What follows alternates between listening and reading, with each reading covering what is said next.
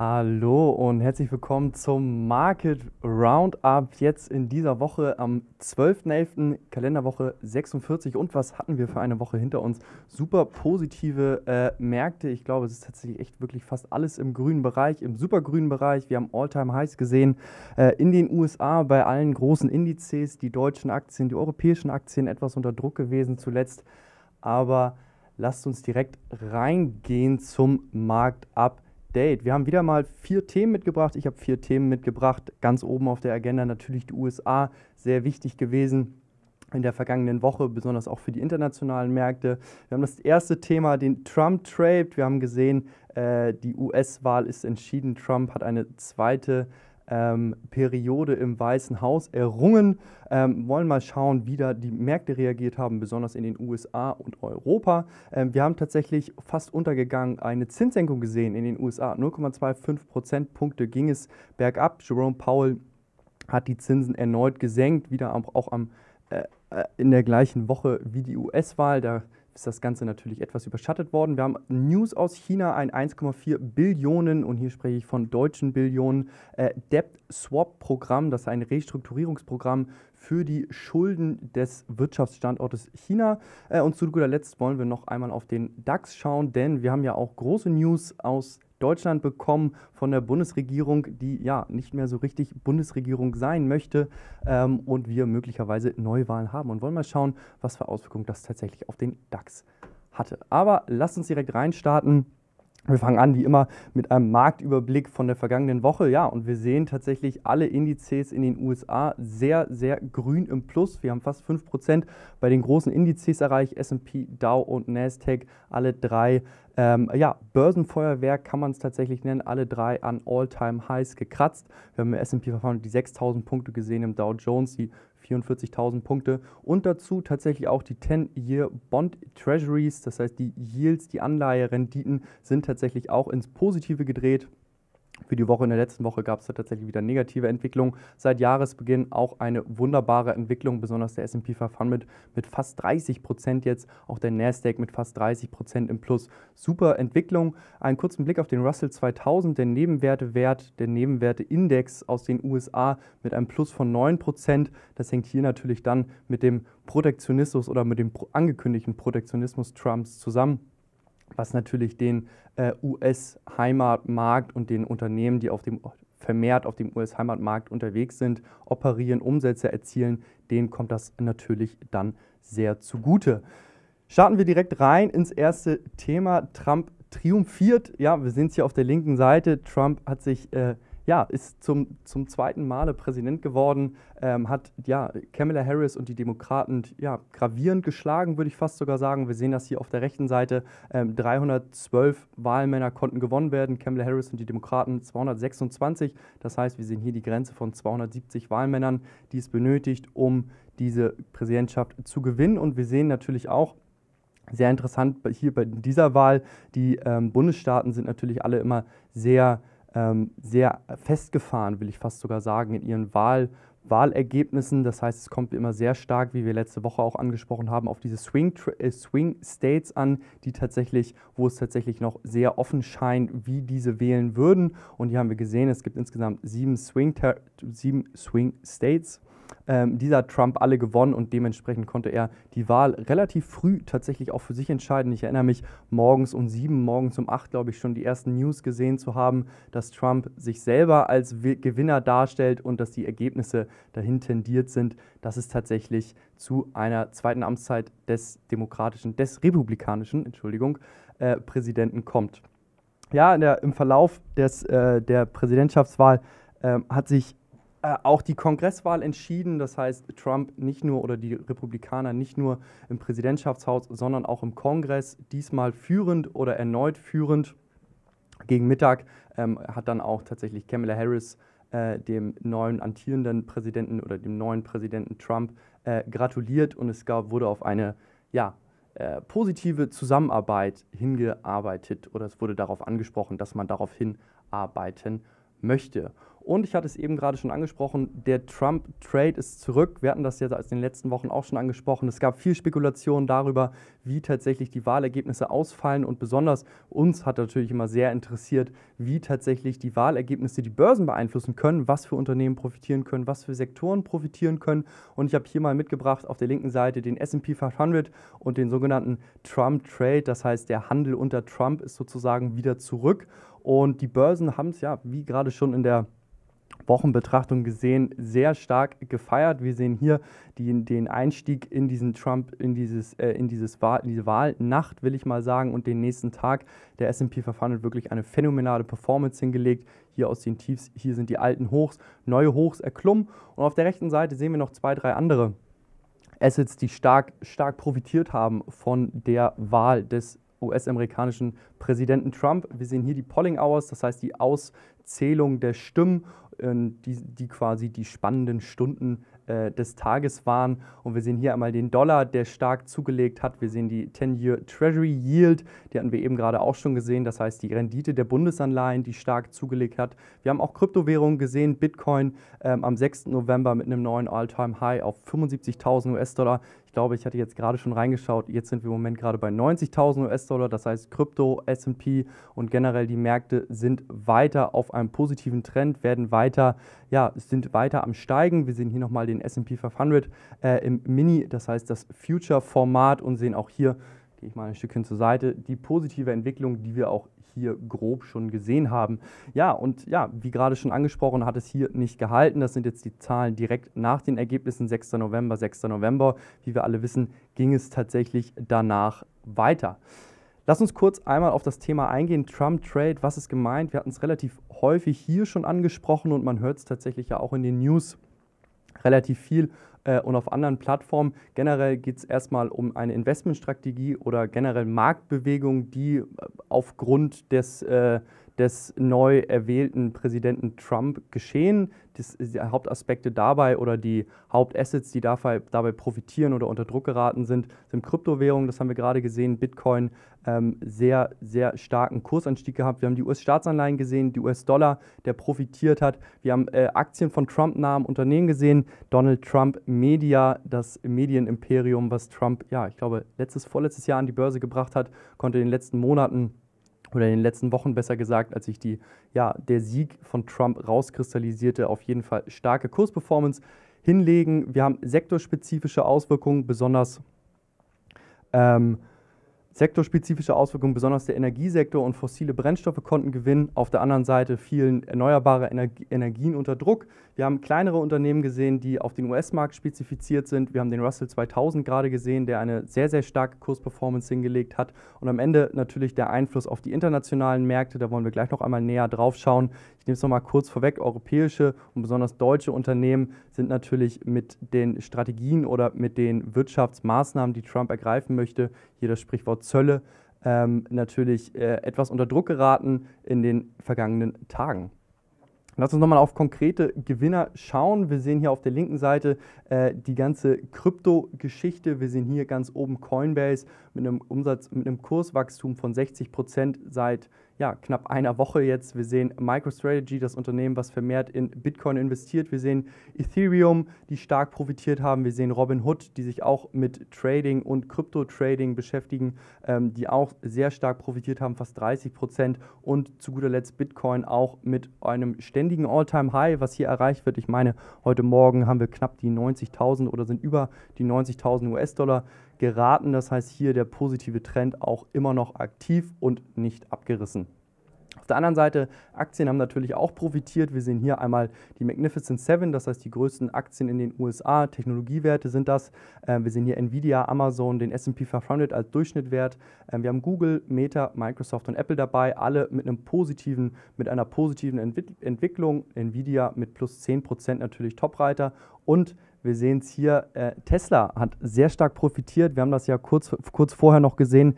Ähm, der Elon Musk, der ähm, Besitzer, CEO und Geschäftsführer von Tesla, hat sich äh, öffentlich sehr für Trump ausgesprochen, ist auf Wahl, Wahl ähm, ist im Wahlprogramm von Trump aufgetreten und dementsprechend antizipiert jetzt die Börse, dass Trump ihm oder dass die Regierung ihm Zugeständnisse einbringen will, sodass äh, Elon Musk weiter quasi ungehindert sein Imperium weiter ausbauen konnte. Die Aktie dementsprechend ja äh, am 8. November 30 Prozent im Plus. Das Plus ist hier, ich nehme es mal vorweg, auch weiter hochgegangen. Das heißt, wir sehen hier eine Entwicklung von mehr als 30 Prozent in der letzten Woche.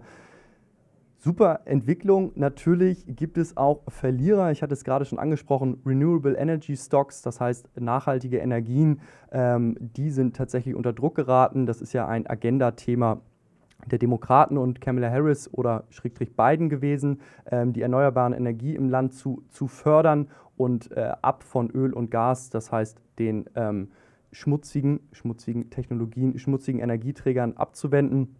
Wir sehen auf der rechten Seite auch die, äh, die, europäischen Aktien, Stocks Europe 600, das heißt die 600 größten europäischen Aktien, die zunächst ähm, positiv reagiert haben. Wir sehen das hier, ähm, dann aber tatsächlich über die letzten Tage ähm, doch diesen Trend wieder abgebaut haben, sodass wir jetzt eine negativere Entwicklung oder eine negativere, einen negativeren Kurs, will ich mal sagen, als noch vor der Wahl gesehen haben haben oder sehen, besser gesagt. Langfristig muss man sagen, äh, ist das tatsächlich, spricht man ja immer davon, dass politische Börsen kurze Beine haben und das sieht man tatsächlich auch hier. Der Markt ist natürlich kurzfristig sehr euphorisch und sehr viel ja, Markterwartungen werden dort in die Kurse mit eingepreist. Hier sehen wir einmal dann tatsächlich die Wertentwicklung des SP 500 um die US-Wahlen herum seit 1984. Hier haben wir vier Werte auch mal mit dabei. 2020, 16 den Durchschnitt von 1984 bis heute, 2008 und 2020. Und wir sehen hier ganz schön, es geht tatsächlich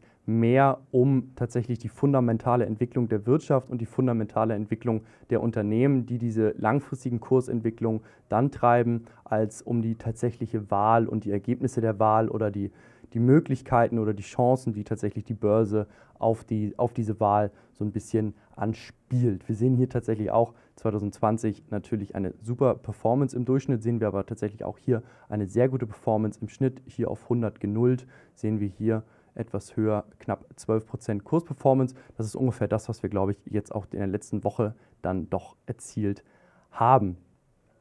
Und wofür ist das interessant? Äh, ja, hier nochmal äh, ein weiterer, weiter Blick. Das heißt, äh, wir schauen uns jetzt hier an, was passiert tatsächlich mit Aktien oder dem generellen Aktienmarkt. Hier abgebildet der SP 500. Ähm, wie, ähm, wenn es positive oder negative Reaktionen auf die Wahlergebnisse gab. Das heißt, der Post-Election Day, das heißt, der Wahl, der Tag nach der Wahl wird hier betrachtet.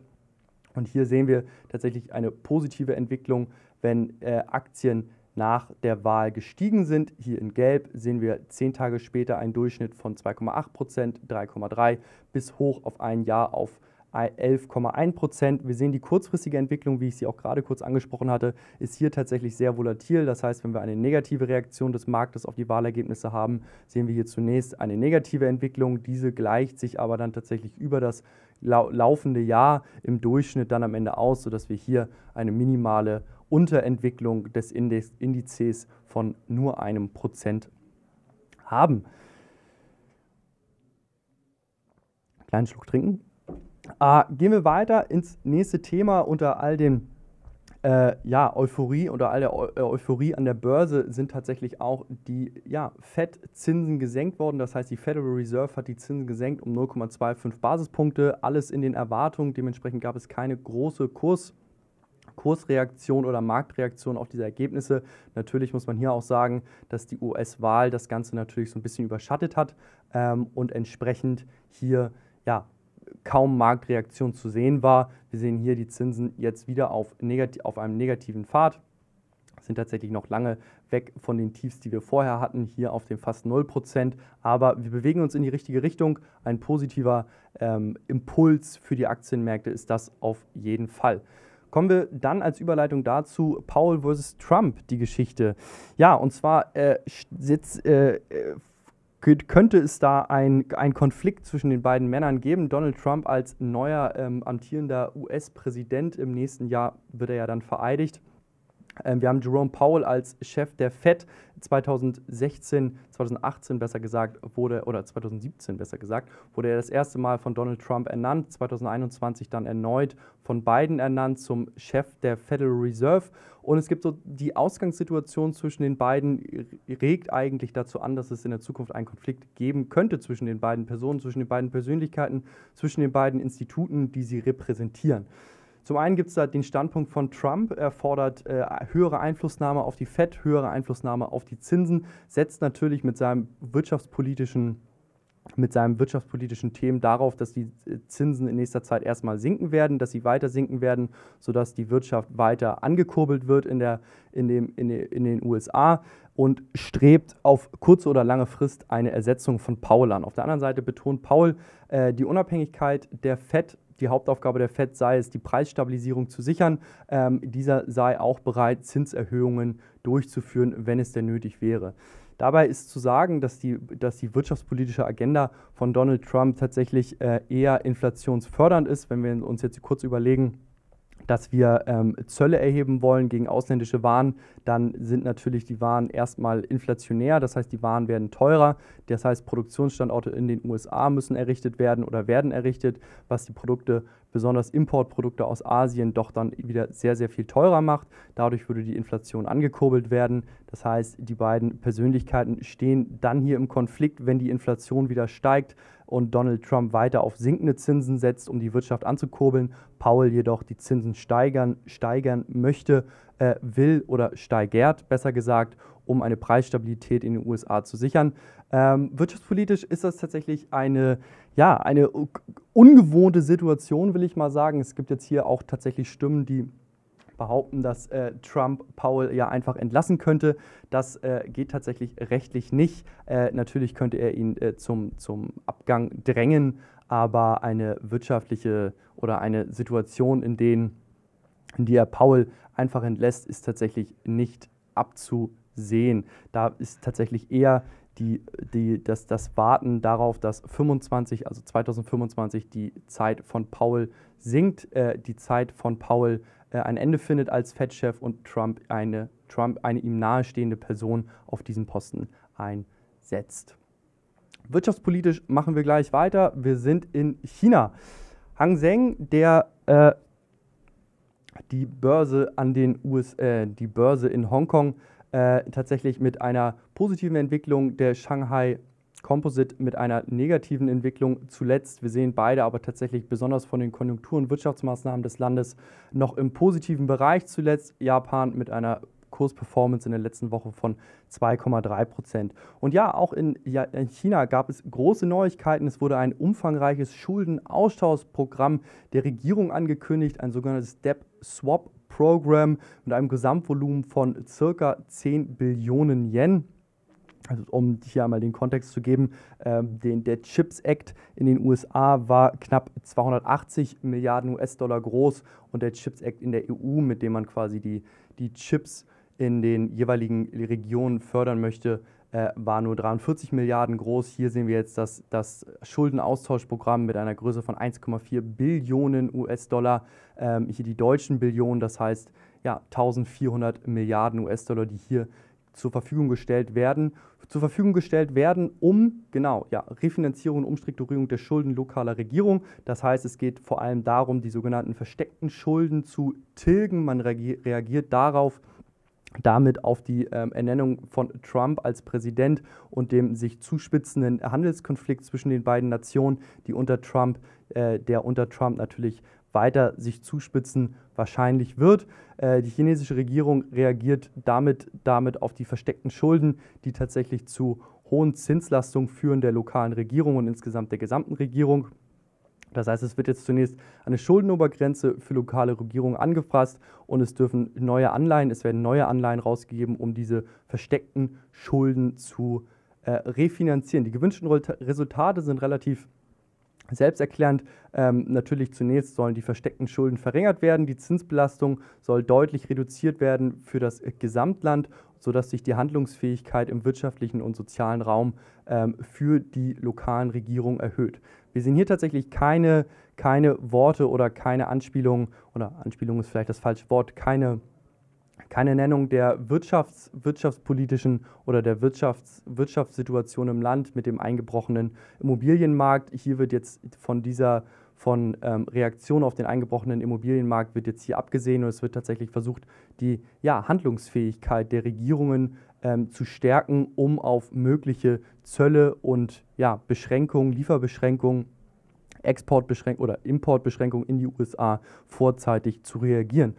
Und hier auf der Folie sehen wir einmal ganz kurz die Verschuldung des chinesischen Staates. Wir sehen hier in Blau ähm, den angesprochenen, angesprochenen versteckten Schulden, die jetzt in den letzten Jahren deutlich, deutlich gestiegen sind. Wir sehen hier immense Zinsbelastung, die natürlich das Land und die Gesamtwirtschaft belasten. Wir sehen hier auch natürlich eine sehr, sehr schnelle und rasche Steigerung, die natürlich zum Wirtschaftswachstum des Landes beigetragen hat, die natürlich auch aus dem Wirtschaftswachstum des Landes China resultiert, das natürlich deutlich schneller wächst als äh, Volkswirtschaften bei uns in Europa oder in den USA. Man zielt hier ja die 5% Wachstum im Jahr an, die man tatsächlich in den letzten Jahren auch deutlich erreicht hat. Damit kommt natürlich eine hohe Verschuldung einher und diese versteckte Verschuldung will man jetzt refinanzieren, um sich finanziell stärker aufzustellen und in Anführungszeichen will ich mal sagen, vorzubereiten auf die zweite Amtszeit von Donald Trump. Zweite Amtszeit, zweite Amtszeit, zweite Amtszeit, so rum. Super Überleitung nach Deutschland. Hier wird ja auch eine nächste Amtszeit wahrscheinlich sehr, sehr wahrscheinlich werden. Äh, wir sehen hier die Kursperformance oder die Entwicklung der äh, großen Indizes in Deutschland. Wir sehen hier den DAX mit einem, ähm, einem, Wachstum, einem Wachstum einer Performance von 0,5%, M und S-DAX, die jeweils kleineren Varianten des DAXes mit höherem Deutschland Fokus mit einer stärkeren Performance. Wir sehen aber dann tatsächlich hier auch auf Jahresbeginn der DAX mit 16% im Plus, M und S-DAX tatsächlich hier negativ und der MDAX im leicht positiven Bereich.